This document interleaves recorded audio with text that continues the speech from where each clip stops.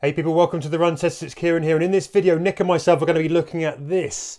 This is a move from Allbirds to go from road to trail. It's the Allbirds Trail Runner SWT. Nick and I have done some early first run miles in them, and here is what we made of it.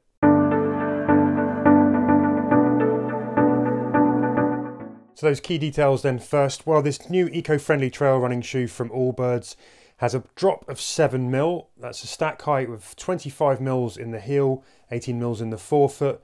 It's got 4 mil lugs underneath to keep traction on the trails. It weighs 369 grams in a UK men's size 9 and 13 ounces in a US men's size 10. And the price is £128 or $138. So straight out of the box then you can kind of see that this Allbirds Trail Runner SWT isn't really kind of like your normal trail running shoe. You're certainly not going to go out and run for performance in this. It does have a very sort of similar Allbirds feel to the silhouette. If you've looked at our reviews of the Tree Dasher and in the past, this shoe sort of feels like it's got that kind of Allbirds DNA built into it. One of those things that makes it different is that Allbirds has taken a lot of the materials that you'd find in traditional shoes and tried to find more eco-friendly alternatives. So that means kind of finding plant-based solutions where possible to replace the kind of our reliance on plastics and also to look at kind of more natural materials like merino wool where possible. The eco credentials of all those materials need a little bit more forensics in terms of, you know, it's not just about replacing plastics, about how those are sourced, how kind of the overall kind of sustainability of those materials, and also obviously where they're made, how they're collected, how they're gathered, all those things. So that's something kind of a discussion for another day. But in spirit, this shoe really is designed to sort of move ourselves away from that over reliance on petrochemical based kind of solutions and things that don't break down aren't natural and are doing a bit more damage to the environment.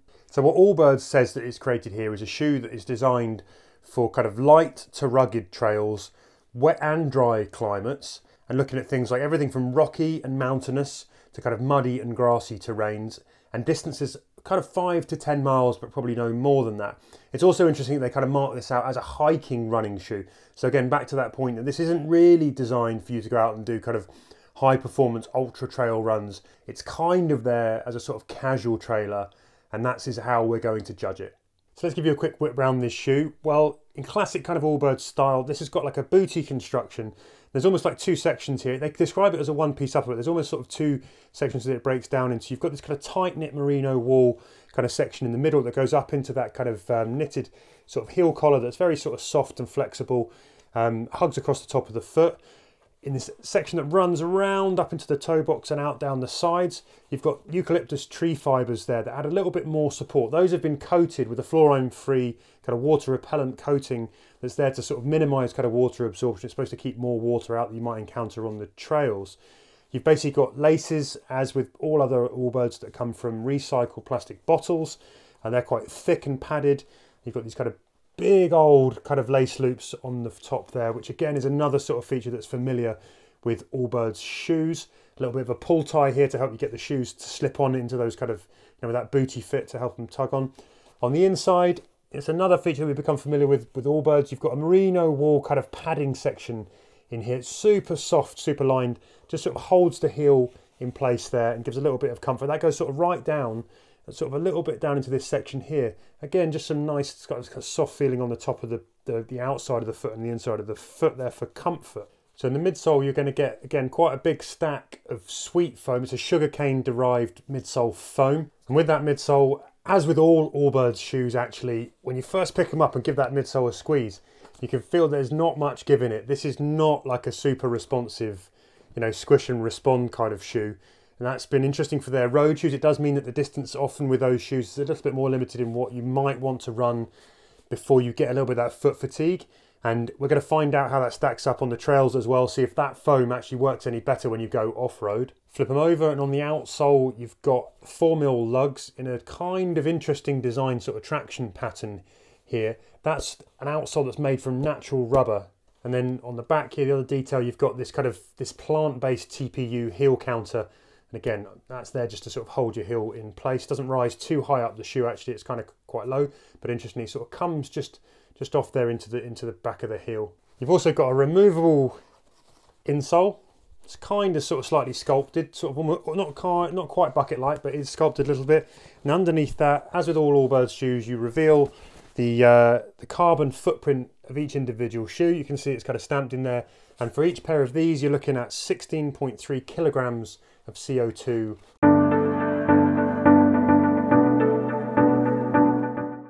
When it comes to fit, uh, in my normal size, I found that the Allbirds Trail Runner was quite long and very spacious in the toe box. It almost had the fit of a normal shoe rather than a running shoe. Um, I also found the minimal lacing that you get on the shoe makes it quite hard to get a proper lockdown around the heel. But yeah, it wasn't too bad. I was able to run fine in my normal size, but yeah, I'd probably go half a size down. So in terms of fit, I ran in a UK 9, which is half a size bigger than I would normally go. I'm a UK 8.5.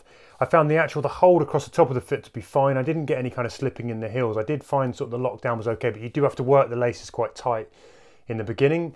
The other thing is, I think, interestingly, that extra kind of bit of space in the toe box I thought might be problematic because I would normally run eight and a half, but actually these shoes ran really well at that size. So that's an interesting thing.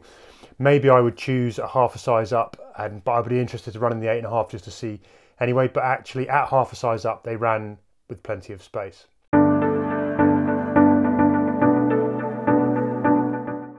So, kind of ahead of this embargo, I've only had time for a couple of runs in the Allbirds Trail Runner. Uh, I'm also recovering from a marathon at the moment, so I've had a couple of you know fairly short, steady plods around my local forest, um, which at the moment is reasonably sloppy, not too muddy yet. It's starting to get there, and I've quite enjoyed using the shoe the grip's actually been pretty good on a range of surfaces. Like I've run on quite hard kind of forest trails, some kind of stony bits, uh, some fairly sloppy bits, and grass, and even the roads to and from the forest. And actually, it's been okay. It's only when it's getting really muddy that I find that um, it did start to get a little bit too slippery. The kind of slightly odd-shaped four millimeter lugs tend to uh, skate a bit. You don't get enough purchase on like kind of deeper muddy sections. They also pick up a bit of mud. So yeah, it's more. It's got a good general trail shoe, I'd say, in terms of gripping across a range of surfaces, but not great in the deep, deep mud.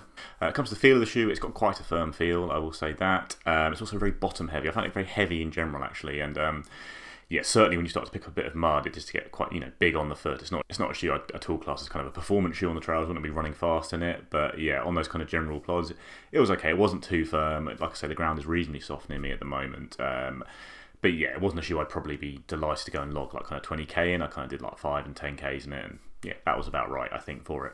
So out for my first run with the Allbirds Trail Runner SWT, and I think, like Nick, I'm on very tired legs after 7 in 7 with the embargo kind of looming large. So fessing up here, haven't quite done the miles that I would like to do to give you like a full review of these. Um, so I've done about kind of six miles on lighter trails than maybe they are designed for in some conditions. So it's kind of uh, fairly flat, nothing that nothing too inclined, but off-road, small stones, sort of river paths, basically where I am now. And uh, yeah, my first run, it basically feels like all the other Allbirds shoes I've run in so far. This is a firm ride. If you like soft, this isn't going to be for you. So we've seen a bit of a move towards things like uh, like the Ultramax Inov-8s and um, those big cushioned North Face Vectivs. These are at the opposite end of the scale. They are very, very firm underfoot. You've got a big wide base down there on the bottom of these though. That's the same as you'll find with a tree dasher. They've carried that over here with that SweetFoam, that firm SweetFoam, but it does give you kind of a wide and fairly stable base. That's one thing that I do think has sort of worked quite nicely. You will feel sort of stones and bits and pieces popping up through the soles of those foot when you hit them though, because there's not that much compression in those soles. So maybe when you're out on bigger trails, uh, whether that's going to be a good thing or a bad thing, I at the moment, I feel like it might become an issue if you're going to try and go long in these. I would totally agree with Allbirds' kind of categorisation of these as kind of five to ten mile shoes. I don't think that I would want to go longer in them. I think you're going to feel that foot fatigue. But as a casual trailer, where you, you know, if you occasionally get out and run around a park or you go a little bit off road, where it's not too crazy, and you're doing short runs and you want to do something that maybe is a little bit friendlier for the planet, this is where Allbirds' kind of niche is. It's the same with their road running shoes. They are not the highest performance. They're not the softest. They can do a very, very good job over short distances. So the other thing I will say is the uppers I think are very comfortable. You know, they do hug the foot nicely, they wrap the foot. I know Nick's mentioned that he has some sort of heel slipping. I haven't found that I've managed to get quite a lockdown fit here, but I have got quite a, quite wide sort of fat feet. So maybe that's just me. Um, haven't been able, it's been dry here for this run, couldn't take him into the wet. I do have a feeling that even though they've got that water repellent coating, that that merino wool might pick up water and hold it on wetter runs. And of course, because it's dry here and it's fairly flat, haven't really had the chance to test that. Those four mil lugs I think Nick had a better opportunity to do that, but those will be interesting and we will take them into kind of more trickier terrain when we come to do the full review of this shoe.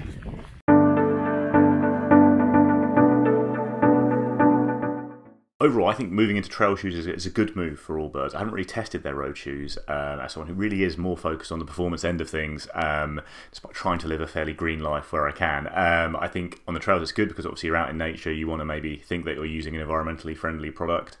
Um, but also, just the ground out in nature is much more forgiving. Like if you're just pounding out roads in what you know, the Allbirds foam I think is quite firm. It's not like the plushest, not the bounciest. It's not the most enjoyable ride, and actually you can get away with that a lot more on the trails when you're on slightly softer ground or uneven ground. Uh, so I think all in all, this is a good move for them. Especially as well, I personally, I think a lot of people tend to do more easy running on the trails. So again, you're not so demand, you're not so demanding maybe about the performance of a shoe when you're out there.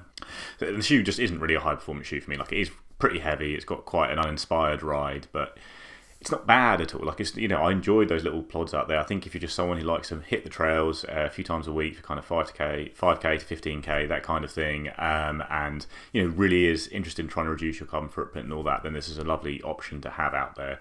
If you are really focused on the ride of a shoe and how it can perform, I'd look elsewhere to Allbirds. But yeah, it's a nice enough ride. I enjoyed plodding around in it. It's um, got a decent grip for a range of surfaces, but just yeah, not ideal for that really muddy stuff that I sometimes come across in my local forest.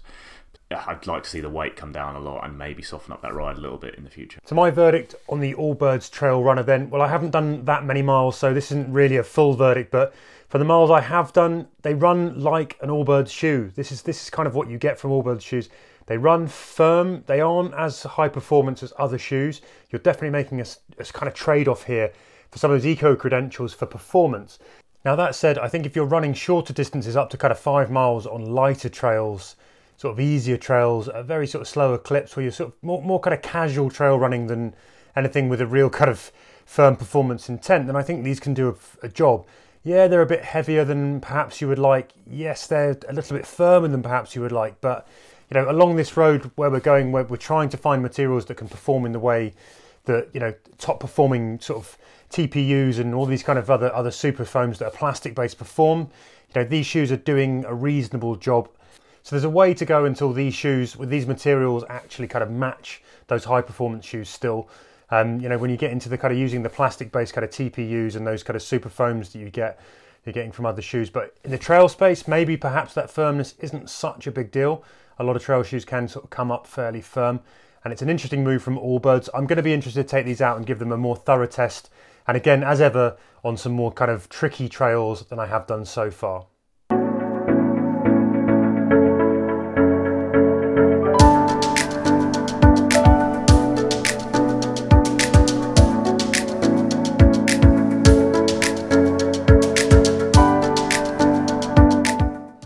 Have it. That's our first run impression of the Allbirds Trail Runner SWT. If you have any questions about this shoe, feel free to hit us up in the comments below. Don't forget to like and subscribe. If you're interested in eco-friendly shoes, there's a few more on the channel that you can find. Have a look through and you've got some Allbirds reviews from other shoes. Um, we've also tested the Allbirds times Adidas collaboration. So that's an interesting one to look out for too. But yeah, overall, thanks for watching. Uh, we've been the Run Testers, and we will hope to see you again soon on the channel. Take care and happy running, people.